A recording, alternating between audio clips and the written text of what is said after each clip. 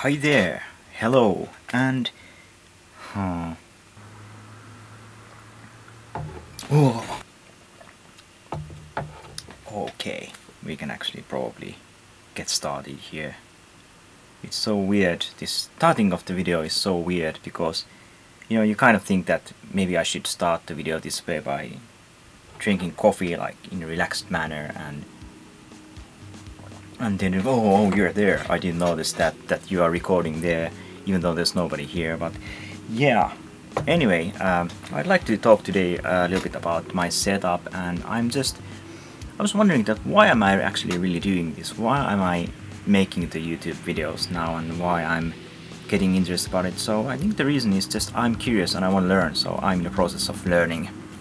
If you if you allow so uh, I went to the big camera shop here in Japan today and I bought some fluorescent uh, light spirally bulbs and and these are um, these are actually 6500 Kelvin. So so they are actually on the colder end of the daylight spectrum if you if you may uh, um, in the internet people say that yeah you should get like at least like it's better to go with 5500 or around that area because you know um, these can get a bit of bluey and and so on. So so I bought two of these and two of these cost about uh, 3500 yen which is about uh, 35 dollars in US dollars if you allow and in euro it's about uh, might be about 30 euro.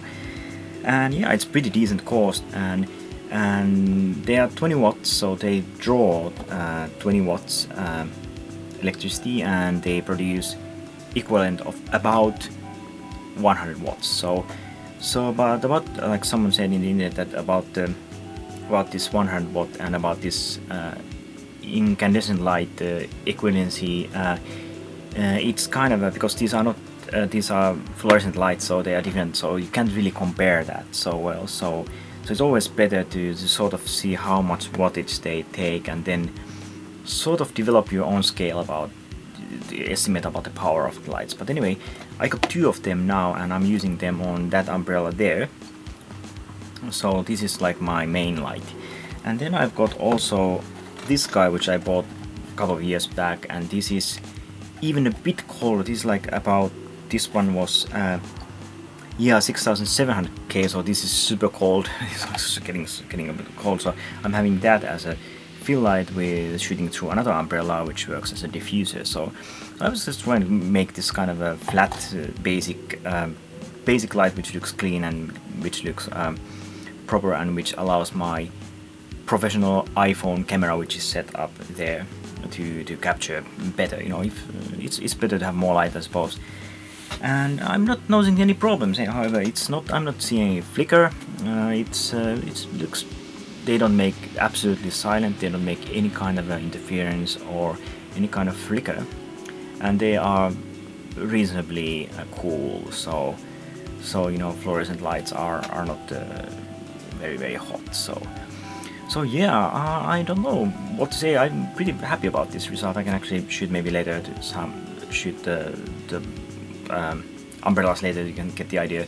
There's just cheap umbrellas which I got as a present from my school where I attended in photography school back then. And and yes, uh, yeah, it's very very interesting and and I'm also very interested about sound because I actually found uh, I remember I have actually one condenser mic, um, Sony ECM 999 PR, um, very old uh, old mic which I used when I was doing a broadcasting, uh, I was actually doing sound recording for the Yle um, broadcasting in Finland back in a, what's that, 15 years ago.